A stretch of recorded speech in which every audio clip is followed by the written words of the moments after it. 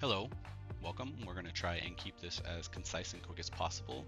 You're likely here because you've been having some issues at the loading screen with your Diablo 4 beta.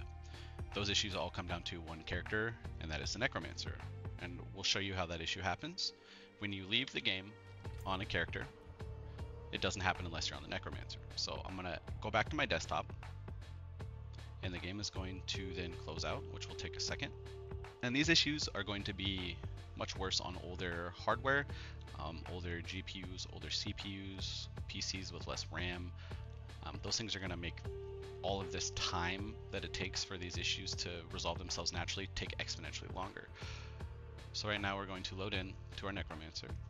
And our Necromancer was the last character that we left the game on. So it will automatically be the first character that is selected and auto populates. And you're going to see that's going to cause a, a hang time issue where your game just freezes and you aren't able to move or click on anything. Like so. So here we are. This is an issue most people will sit and get very frustrated with.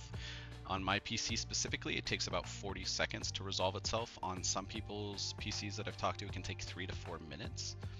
So like I said, your hardware is really going to depend on how bad this issue is. And it comes down to two things I figured out, either a driver issue or a queue issue and I don't know why the queue would make a difference, but I tried to reproduce this many times, and there were a couple times where the queue took longer than however it just did. Usually the queue's pretty instant.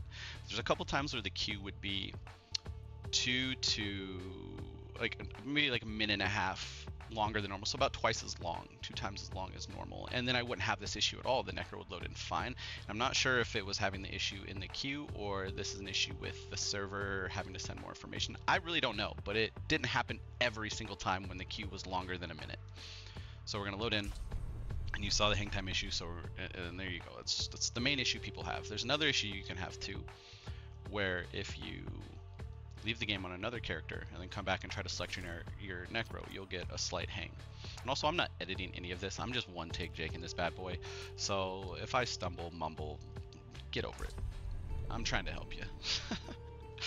and so if you load in on any other character, and you leave the game, and you come back to try to pick your Necro, you end up with an, uh, about a 20 second like pause where the game actually just kind of freezes completely where nothing is happening.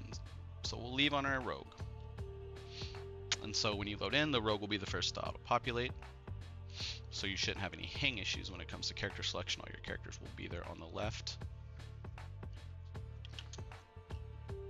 But when you choose your Necro, you're going to have a slight hitch. And then all, these all resolve themselves over time.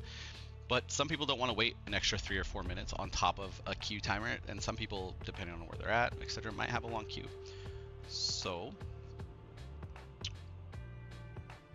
like this is this is this would be a time where the necro wouldn't hang, which is weird because this only happened two or three times where that queue was a little bit longer than normal, where it wouldn't just pop into the game, and then I didn't have any issues with the necro, which was interesting. So now we load here, and it'll be interesting to see if we have the issue and we select the necro. Let's click on it and see. There we go. Good. It still happened. So now it hangs again, where the game can't click anything. It's unclickable nothing happens, you just have to wait it out, and eventually your Necro will populate. Now, the simplest way to fix this issue, as you can see right here, is there you go, it works. Now we're going to go back here. Now we're going to just exit. The easiest way to fix this is to just load your game, and instead of even worrying about picking your Necro off rip, you just want to go ahead and load the game in on whatever other character you want to like you aren't going to play like any other character really. And then just leave the game and go back and pick your necro and the issue just resolves itself. And i'll show you real quick and then we can be done. See how that queue's shorter like that? And the other one was a little so when this short queues really contribute to the issue with the necromancer i've noticed. But let's go ahead and start. But remember last time i went to go click the necro we got hang time I don't know what that play button does, but it's ominous.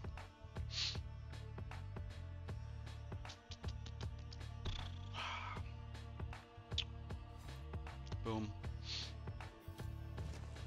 Oh, I thought those were mine skeletons. I was tripping for a second. I was like, when did I pick the Necro? And now we'll go here and we have no issues. So that's the main workaround. Load in on another character. Don't leave to desktop on your Necro and you shouldn't have any hang time issues. So until they fix this issue with another driver update, I would either roll back your drivers or just do a little workaround where you log out on another character, load in, and then pick your Necro. Awesome. Glad I could help. Sweet.